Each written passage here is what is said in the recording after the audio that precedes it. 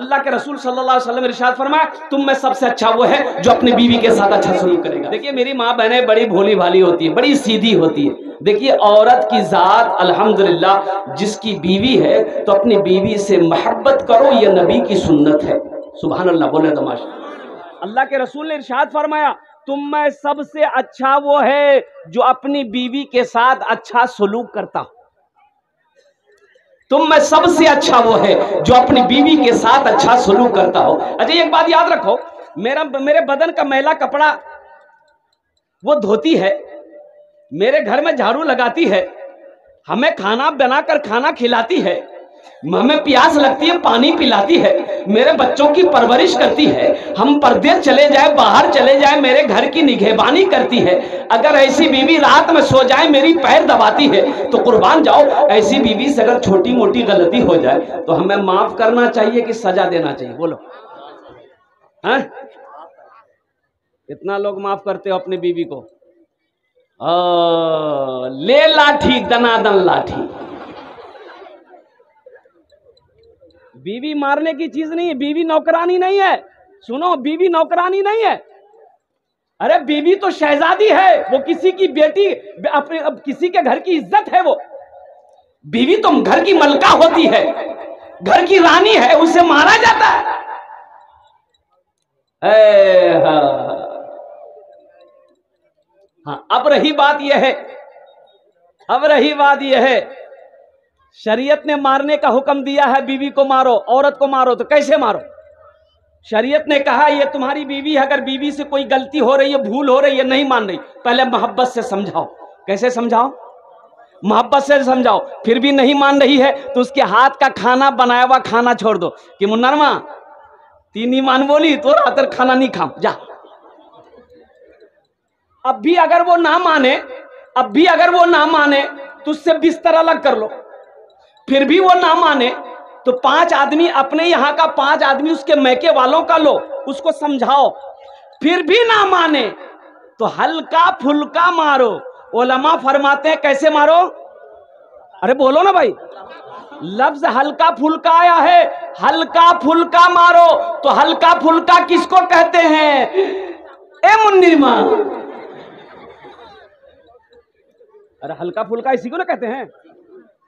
कि लट्ठी लेके जितना मारो कि नाला में डुबा डुबा के मारो। ये इजाज़त किसने दे दिया है? अल्लाह के रसूल ने शायद फरमाया, जालिम है वो जो अपने बीवी के चेहरे पे मारता है, जो औरत के चेहरे पे मारता है।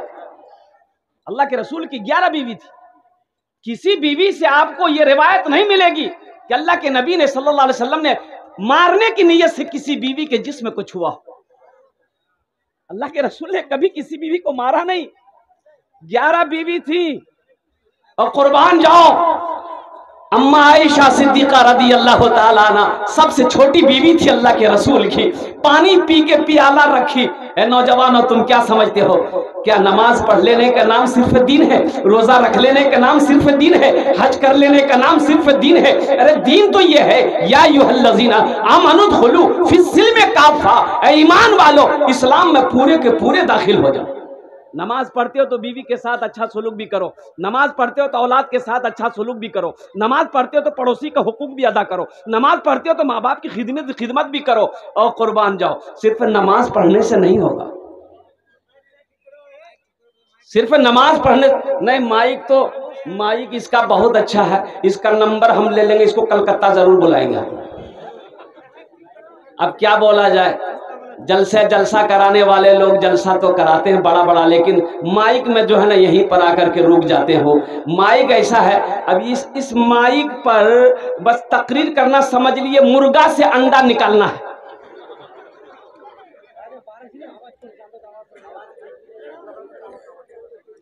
एक बादशाह मुर्गी पालता था तो वज़ीर को बोला वज़ीर को बोला कैसा करो, ये मुर्गी मुर्गी रोज़ाना कितना अंडा देती है? तो वज़ीर बोला कि, हुजूर एकटा एकटा।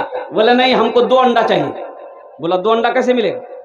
बोला, जैसे मिले, मुर्गियों में ऐलान कर दो। हमको दो अंडा चाहिए। जो मुर्गी दो अंडा दे दे, उसको छोड़ दो। जो एक अंडा दे, उसको जिभा करके मेरे सामने ला वजीरा के ऐलान कर दिया, मुर्गियों के तो खैरियत नहीं छो। दीटा अंडा दी वो तो बचे जाओ एक अंडा दे दी लो बस खत्म। अब देखिए जो जानवर आदमी पालता है, उसको दाना पानी जब आप खिलाते रहिएगा ना, वो आपसे मोहब्बत करने लगेगा। बकरी हो, मुर्गी हो, घर के अंदर में। तो वज़ीर समझा दिया, वज़ीर समझा दिया, सब मुर्गी को ऐलान कर दिया कि जान खैरियत चाहती हो तो दो दो अंडा दो। अब कोई मुंडी, कोई मुर्गी सुबह एक अंडा दी, कोई शाम को एक अंडा दी। देखा सब दो दो अंडा दी है। एक मुर्गी के पास एक ही अंडा। ये वज़ीर उसकी नट्टी पकड़ा।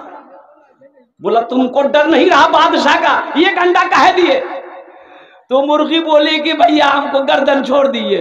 ये तो बहुत मुश्किल से हम बादशाह का डर से एक अंडा दिए हैं। दरअसल बात यह कि हम मुर्गी नहीं है हम मुर्गा है। हाँ, हाँ। मेरे भाई और मेरे नौजवानों तो मैं क्या कह रहा था भाई? भाई औरतों के बारे में बात क्या हो रही थी बोलिए। हाँ नमाज़ के बारे में।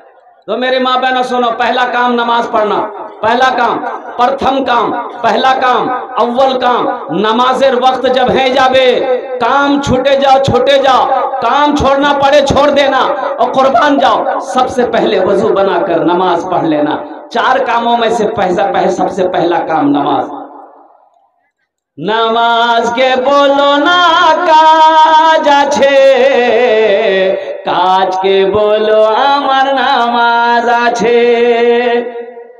नमाज को ये ना बोलो कि हमारा काम है काम को बोलो मेरा नमाज है काम को बोलो कि पहले हम नमाज पढ़ेंगे फिर काम करेंगे नमाज को ये ना बोलो कि मेरा काम है नमाज के बोलो ना কাজ আছে কাজকে বলো আমার নামাজ আছে तो मैं अपनी माँ बहनों के हवाले से कह रहा था, पहला काम मेरी माँ बहनों अब रही बात यह है, बीवी के साथ अच्छा सलूक करेंगे।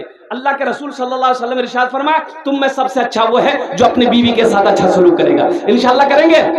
कितने लोग करेंगे? हाथ उठाए इंशाल्लाह यहाँ देखिए, बच्चा लोग भी उठा दिया हाँ तो कल हो के ये भी तो बड़ा होगा, ये भी तो जवान होगा, ये भी नबी की सुन्नत के मुताबिक निकाह करेगा। अच्छा एक पैगाम और लेते जाओ। ये मेरा मौजू नहीं है। मेरा ये मौजू नहीं एक पैगाम लेते जाओ।